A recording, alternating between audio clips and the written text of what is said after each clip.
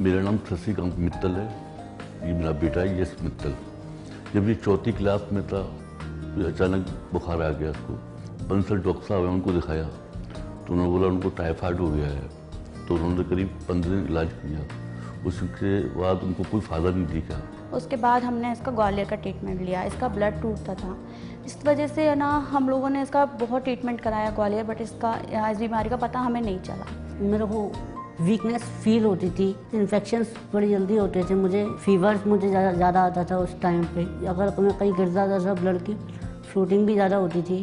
तो वहाँ पे कई टेस्ट होने के बाद डॉक्टर गौरव मिले हमको।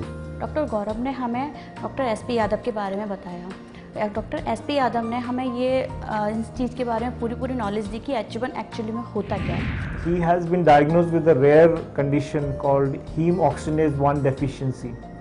So it's an enzyme which is required uh, for the breakdown of hemoglobin into bilirubin.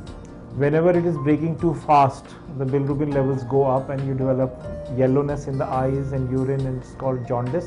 The hemoglobin is not broken down in the proper way, then uh, it can damage your uh, blood vessels and this is what this child had that he has heme oxygenase 1 enzyme deficiency since birth and uh, he couldn't handle even the smallest of infections or uh, inflammatory triggers and this condition there are just about 5 children who have been diagnosed around the world with this disorder now the, the permanent cure has come for this treatment and that is that if we do a hematopoietic stem cell transplant or a bone marrow transplant from an healthy donor. So we took selected her as a donor and we performed a bone marrow transplant from the sister. Uh, the bone marrow of Yash uh, was suppressed or finished with chemotherapy and after that it took about three weeks for the sister's cells to start working and start making new uh, blood from the, the stem cells infused into Yash.